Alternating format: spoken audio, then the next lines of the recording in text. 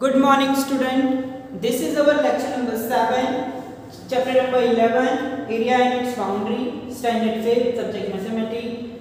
Okay, we already discussing in our previous lecture question number F of the practice time. Shania, Arushi, Manav and Kabir met reading card complete the table for their card. ठीक है तो हम उनके tables को complete कर रहे थे तो ऑलरेडी हमने दो क्वेश्चन देख लिए थे सान्या एंड मानव का क्या देखा था कि सान्या जो है उस, कार्ड में क्या है? लेंथ एंड विड्थ दी हुई है। ठीक है? तो इसलिए हमने पैरामीटर का फॉर्मूला अप्लाई किया और पैरामीटर का फॉर्मूला अप्लाई करके उसका पैरामीटर फाइंड आउट किया। दैट आफ्टर एरिया एरिया के लिए एरिया का फॉर्मूला अप्लाई करके लेंथ एंड विड्थ है ही ऑलरेडी तो इजीली हमने जो है उनका एरिया भी फाइंड आउट कर लिया। नाउ उसके बाद फिर मानव के क्वेश्चन में थोड़ा सा ट्विस्ट किया था क्या? कि लेंथ दिया हुआ है विड्थ नहीं दिया है एंड पेरीमीटर दिया है। तो पेरीमीटर का फॉर्मूला फिर से अप्लाई किया। पेरीमीटर की क्वांटिटी है हमारे पास तो पेरीमीटर की क्वांटिटी हमने पुट की एंड लेंथ भी है तो देन लेंथ की क्वांटिटी पुट की एंड इजी वे में हमने क्या किया? विड्थ जो है वो फाइंड आउट कर लिया। ओके फिर विड्थ फाइंड आउट करने के बाद हमने एरिया का फॉर्मूला अप्लाई किया एंड एरिया का फॉर्मूला अप्लाई करके क्या किया? जो मानव का विड्थ मिला है, वो उसका एरिया फाइंड आउट किया लेस की वैल्यू पुट करके।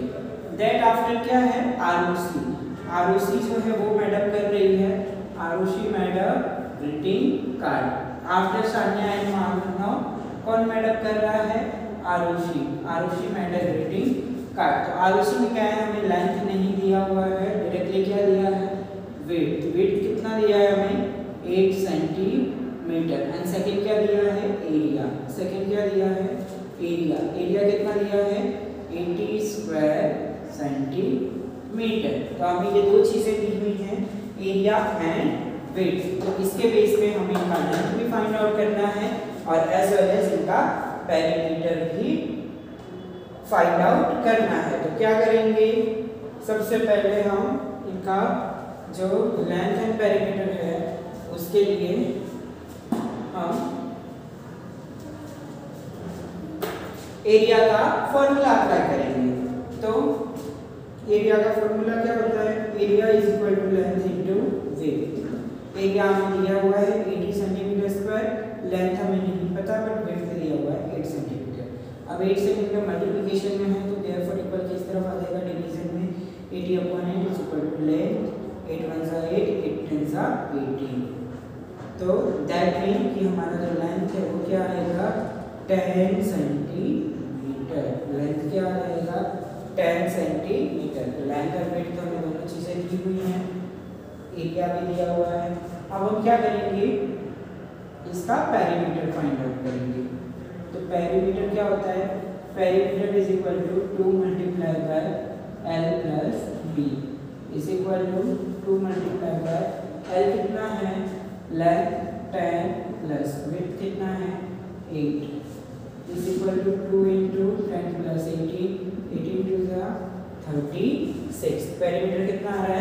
36 सेंटीमीटर। क्या आ रहा है? 36 सेंटीमीटर। तो आरुषि का पैरामीटर कितना है?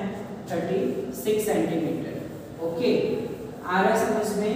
तो इसी वे में हमने उसका parameter as well as area दोनों चीज़ें फाइंड आउट की। पैरामीटर कितना है? 36 सेंटीमीटर।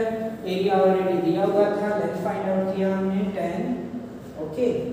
तो इसके बेस पे हमने ये फाइंड आउट किया। अब नेक्स्ट देखते हैं question number D Kabir. Kabir का क्या दिया हुआ है हमें? अब कबीर में पेरीमीटर एंड एरिया दिया हुआ है? ये एकदम ही अलग ही ट्विस्ट है। कबीर का पेरीमीटर कितना है? 40 सेंटीमीटर एंड एरिया कितना है? 100 सेंटीमीटर स्क्वायर अब इस क्वेश्चन में हमें लेंथ और विड्थ फाइंड आउट तो ये सबसे इंटरेस्टिंग क्वेश्चन है राइट तो क्या करेंगे इसके लिए?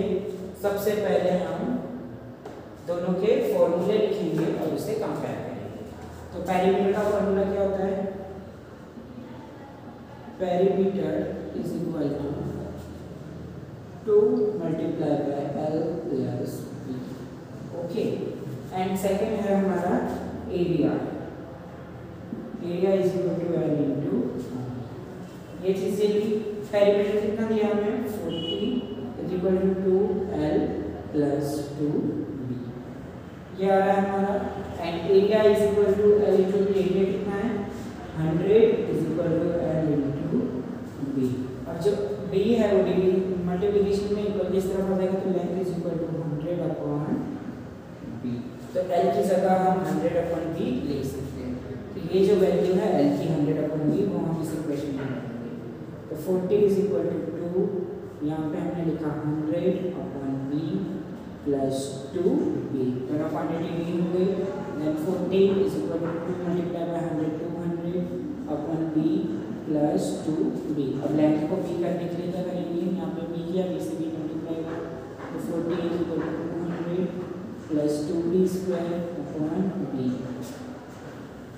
okay इस वे में इजीली हम फाइंड आउट कर सकते हैं। बट उससे बेटर है और सिंपल हम सॉल्यूशन निकालते हैं इसका, इसलिए बहुत लेंथी हो जाएगा आपके लिए। ठीक है? तो सिंपल सॉल्यूशन हम निकालते हैं, हमें पता है area is equal to L into breadth length into width ठीक है? अब एरिया है हमारा हंड्रेड सेंटीमीटर स्क्वायर तो लेंथ इंटू वेट है।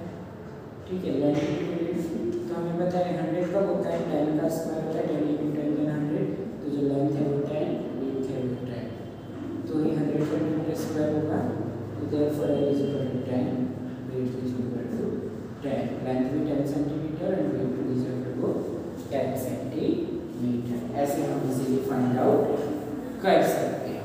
आ रहा समझ में? आ रहा है। ठीक है तो इस वे में इजीली आप फाइंड आउट कर सकते हो। और पैरीमीटर में ये चीज़ आप चेक भी कर सकते हो। पैरीमीटर में कैसे चेक कर सकते हो? कि पैरीमीटर इज़ इक्वल टू क्या होता है? Perimeter is equal to two into L plus B तो टू इंटू लेंथ कितना है हमारा टेन ब्रेथ कितना है ten two multiply by ten plus ten twenty is equal to forty centimetre तो पेरीमीटर आ गया हमारा फोर्टी सेंटीमीटर ओके तो इस वे में इजीली हम फाइंड आउट कर सकते हैं अब हम आगे देखते हैं प्रैक्टिस टाइम हमारा यहाँ कंप्लीट होता है तो अब हम आगे देख लेते हैं कि आगे कौन सा कॉन्सेप्ट आ रहा है? Okay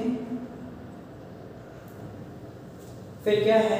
My belt is longest next topic क्या है? माय बेल्ट इज़ लॉन्गेस्ट तो वो बोल रहा है my belt is longest take a thick paper sheet of length 14 centimetre and width 9 centimetre you can also use an old post क्या बता है? एक थिक पेपर शीट लेना है, जिसका लेंथ 14 सेंटीमीटर हो और वेट 9 सेंटीमीटर हो। You can also use an old old postcard हम पुराने पोस्ट कार्ड भी यूज़ कर सकते हैं।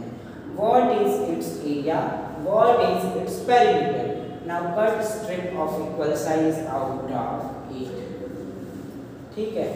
तो क्या करना है? हमें एक थिक पेपर शीट दिया हुआ है, जिसका लेंथ एंड विड्थ दिया है। लेंथ एंड विड्थ दिया है तो जो थिक पेपर शीट है ओके थिक पेपर शीट का लेंथ है 14 सेंटीमीटर विड्थ है 9 सेंटीमीटर तो अब इसका हम क्या करना है? Perimeter and area find out करना है। So therefore perimeter is equal to 2 multiplied by L plus B. Perimeter 2 multiplied by L plus B. L कितना दिया हमें लेंथ 14 सेंटीमीटर ब्रेथ कितना दिया 9 सेंटीमीटर 14 प्लस 9 कितना हो गया 14 प्लस 9 कितना हो गया हमारा 23 and 23 into 2 46 सेंटीमीटर तो पेरीमीटर क्या आया? 46 सेंटीमीटर अब पेरीमीटर के बाद हमें इसका क्या फाइंड आउट करना है? एरिया क्या फाइंड आउट करना है? एरिया तो एरिया का फॉर्मूला क्या होता है? L into B length into breadth तो लेंथ कितना है हमारा? 14 सेंटीमीटर ब्रेथ कितना है हमारा? 9 सेंटीमीटर तो 14 9 जा 14 9 जा 126 ठीक है? तो इजीली हमने एरिया जो है 126 स्क्वायर सेंटीमीटर तो उसका हमें एरिया भी फाइंड आउट हो गया। तो आ रहा है समझ में? तो उसका जो बेल्ट कवर था, उसमें वहाँ पे जो पोस्ट कार्ड था, उसका हमें लाइन एंड वेट दिया हुआ था और उसके अकॉर्डिंग उसका हमें पेरीमीटर फाइंड आउट करना था एंड एरिया फाइंड आउट करना था। अब हमने perimeter and area find out कर लिया।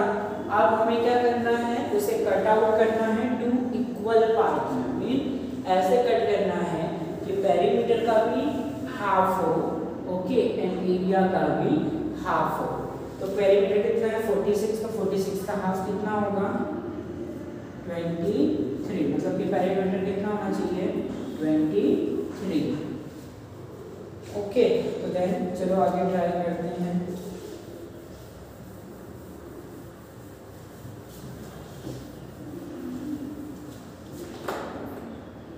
आगे देखते हैं इस क्वेश्चन को कि और आगे कैसे नहीं इसमें से क्या थीसिस देना चाहता है, इसमें क्या एक्सप्लेन करना चाहता है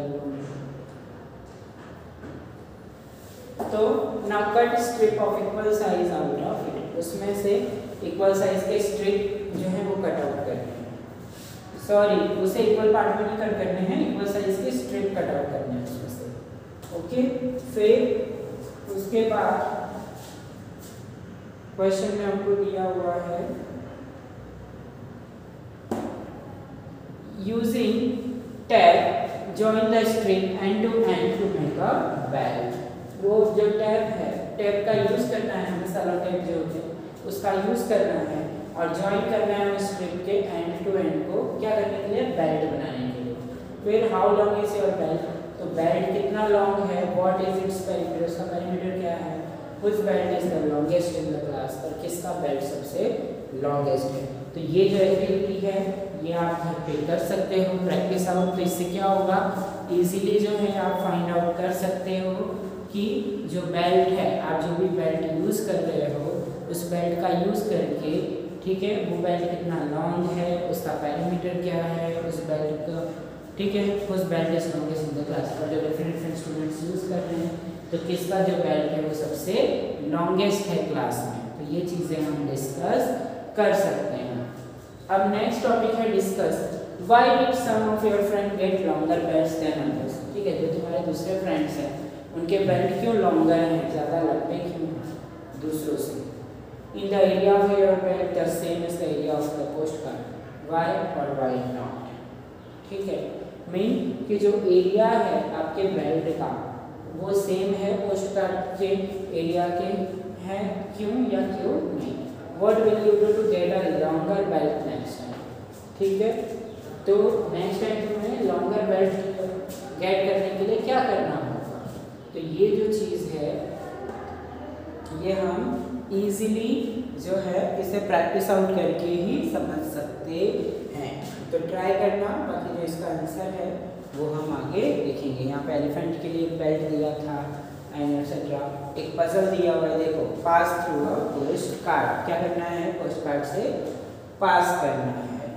Can you think of how to cut a post card so that you can pass through it क्या बोल रहे हैं? क्या आप थिंक कर सकते हो कि जो पोस्ट कार्ड है, उसे आप कैसे कट आउट करोगे कि इजीली आप उसके अंदर से पास आउट हो सको? ठीक है, उसमें से पास हो सको देखो पिक्चर में देखो जो लड़का है, उसके सराउंडिंग ठीक है पोस्ट कार्ड है, उसने हाथ निकाला हुआ है बाहर पोस्ट कार्ड में से।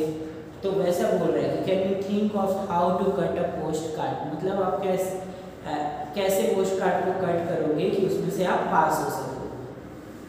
सी फ़ोटो फ़ोटो को देखने को मिल रहा है। If you have tried hard enough and still not got look for the answer somewhere ठीक है? अगर आप बहुत ट्राई कर रहे हो, ये आपको ट्राई करना है पोस्ट वाला ठीक है? ट्राई करना है होमवर्क में। और आप बहुत ट्राई कर रहे हो, फिर भी स्टिल आपको अभी तक में वैसा नहीं मिल रहा है कि कैसे आप कट आउट करोगे। तो आगे जो है, इस टेक्स्ट बुक में आगे क्वेश्चन दिया हुआ है। तो अब सबसे पहली चीज़ कि ये जो बेल्ट जो है, ये बेल्ट कट आउट और ये सब चीज़ें, ये करवा क्यों रहे? तो ये इसका मेन एम है कि आपको बताना कि सेम एरिया वाले जो ऑब्जेक्ट होते हैं या थिंग्स होते हैं, वो डिफरेंट डिफरेंट फॉर्म्स ले सकते हैं, ठीक है? और डिफरेंट डिफरेंट पैरामीटर हो सकता है उनका, जब हम साइड या लेंथ मेजर करते हैं मिलीमीटर में, ठीक है? तो ये चीज़ें ही बता रहे थे। क्या बता रहे थे? कि सेम एरिया वाले ही ऑब्जेक्ट के पैरामीटर डिफरेंट डिफरेंट हो सकते हैं। ओके तो इसे प्रैक्टिस करना, फिर आगे हम नेक्स्ट लेक्चर में देखेंगे ओके